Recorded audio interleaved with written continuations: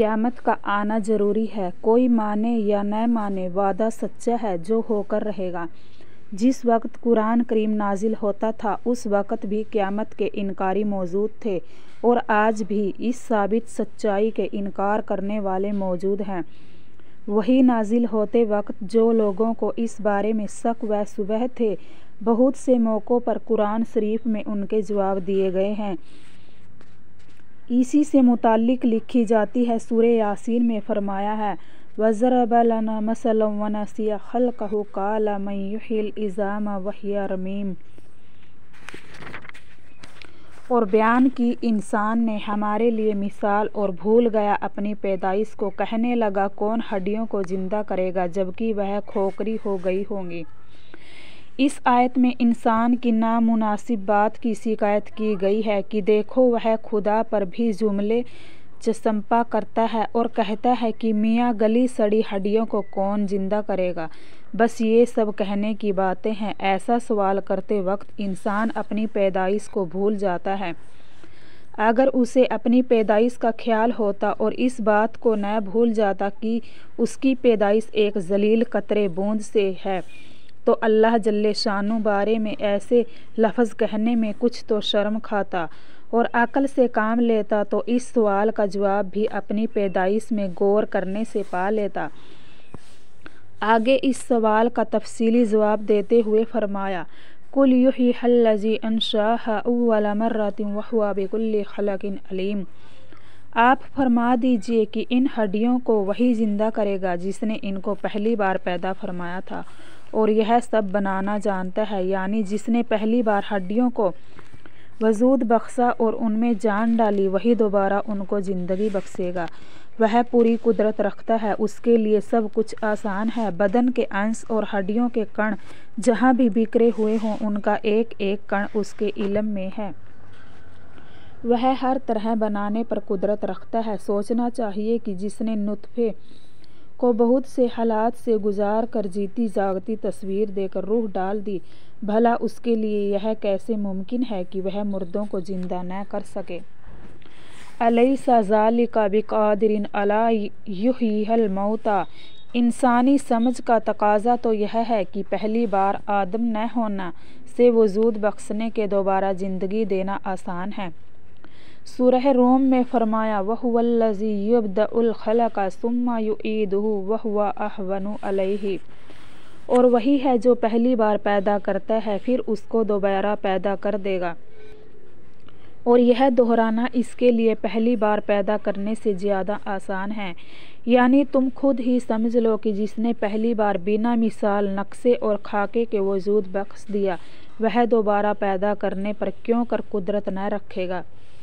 गो इसके लिए पहली पैदाइश और दूसरी पैदाइश सब बराबर है। बुखारी शरीफ, लेकिन तुम्हारी समझ के एतबार से पहली बार पैदा करने से दूसरी बार दोहरा लेना आसान होना चाहिए। यह अजीब बात है कि जिसने पहली बार वजूद बख्शा, वह मौत देकर दोबारा ज़िंदा न कर सके तो कुछ तो समझो सूर्य अहकाफ में फरमाया अवलम यरौ अन्नल्लाहल्लज़ी खलक़स्समावाति वल अर्ज़ि वलम यहया बिखलक़िहिन्न बिक़ादिरिन अला अन युह्यिल मौता बला इन्नहु अला कुल्लि शैइन क़दीर क्या नहीं देखते कि वह अल्लाह जिसने बनाए आसमान व ज़मीन और उनके बनाने से वह थका नहीं, वह कुदरत रखता है कि मुर्दों को ज़िंदा कर दे ज़रूर, वह हर चीज़ पर कुदरत रखता है। यानी जिसने आसमानों और ज़मीन जैसी बड़ी बड़ी चीज़ें सिर्फ़ अपनी कुदरत से फरमा दी, क्या इस पर कुदरत नहीं रखता कि मुर्दों को ज़िंदा करे? बिला शुबह इस पर वह ज़रूर कादिर कुदरत रखने वाला है। सुर हामीम सजदा में फरमाया है, वमिन आयात ही अन्ना का तरल अर्ज़ा खाशी अतन फ़ैज़ा अनजलना अलहल मा तज़्ज़त इन्नल्लज़ी अहयाहा लमुहयिल मौता इन्नहु अला कुल्लि शैइन कदीर और बहुत सी इसकी निशानियों में से यह एक यह है कि तू ज़मीन को देखता है दबी पड़ी है फिर जब हम इस पर पानी बरसाते हैं वह उभरती है बेशक जिसने इस ज़मीन को ज़िंदा कर दिया है वही मुर्दों को ज़िंदा करने वाला है बेशक हर चीज़ पर कादिर है यानी जिस खुदाबंद करीम ने इस ज़मीन को ज़िंदा कर दिया, वही मुर्दों के जिस्मों में दोबारा जान डालेगा।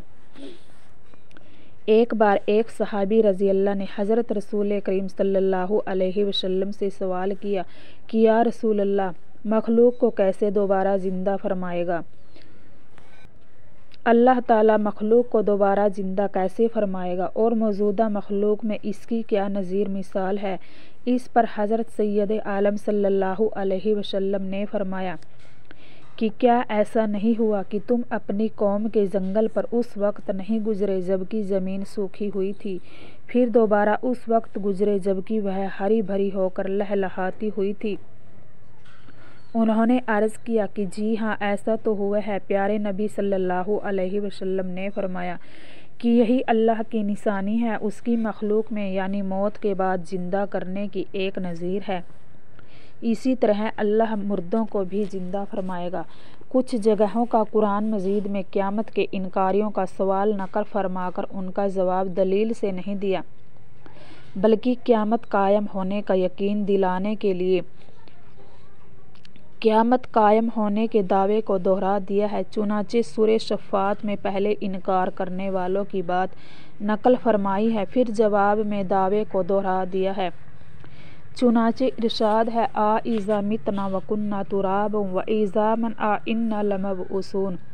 अव आबा उनल अव्वलुन, कुल नअम व अंतुम दाखिरुन। फ़ इन्नमा माहिया ज़रतुम वाहिदतुन, फ़ इज़ा हम वक़ालु या वैलना हाज़ा यौमुद्दीन हाज़ा यौमुलफ़स्लिल्लज़ी कुंतुम बिही तुकज़्ज़िबून क्या जब हम मर गए और मिट्टी और हड्डियाँ ही हड्डियाँ हो गए तो क्या हम उठाए जाएँगे? क्या हमारे अगले बाप दादे भी उठाए जाएँगे? आप फरमा दीजिए कि हाँ तुम उठाए जाओगे और ज़िल्लत की हालत में होंगे और कहेंगे कि हाय, हमारी खराबी, यह आ गया बदले का दिन, जवाब मिलेगा। कि यह है दिन फैसले का जिसको तुम झुटलाते थे। सुर शबा में इरसाद फरमाया है वकाल लजीना कफरू, हल नदुल्लुकुम अला रसूल युनब्बुकुम इज़ा मुज़िक तुम कुल्ला मुमज़्ज़किन इन्नकुम लफ़ी खलकिन जदीदिन। अफ्तरा अल्लाहि कज़िबन अम बिही जिन्नतुन बलिल्लज़ीना ला युमिनून बिल आखिरति। फ़ियल अज़ाब वज़्ज़लाली लिल बईद।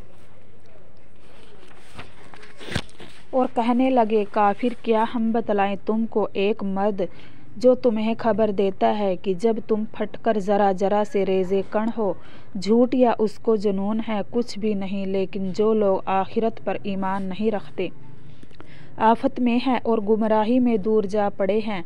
हासिल यह है कि क़यामत हक है अल्लाह ताला की जब मनसा होगी सूर्य फूक दिया जाएगा। सूर फूक दिया जाएगा, क़यामत आ मौजूद होगी। तो कोई भी उसका झुटलाने वाला न होगा। उसके आने का वक्त अल्लाह ताला के इलम में मुकर्र है। लोगों के एतराज़ करने से अल्लाह ताला वक्त से पहले ज़ाहिर न फरमाएँगे। सूर शबा में इरशाद है, वयकूलून मता हाजलवाद इन कुन तुम सादिकिन कुल्लकुम में आदु योमिल्ला तस्ताखिरून अनहु सातुम वला तस्तकदीमून। और वे कहते हैं कि यह वादा कब पूरा होगा? अगर तुम सच्चे हो, आप कह दीजिए कि तुम्हारे लिए वादा है एक दिन का न एक घड़ी इससे लेट किए जाओगे, और न पहले। क़्यामत की निशानियाँ इस नाचीज़ ने एक किताब में जमा कर दी है, जो रसूलुल्लाह सल्लल्लाहु अलैहि वसल्लम की पेशेन गोइयाँ के नाम से छुप चुकी हैं। इसीलिए क़्यामत की निशानियों को उसी में पढ़ ले। अब उन लोगों का मुख्तसर हाल लिख कर जिन पर क़्यामत कायम होगी। क़्यामत के हालात लिखना शुरू करता हूँ। वल्लाह वली की वह खैर अवन व खैर रफ़ीक। अल्लाम वरहमल वर्का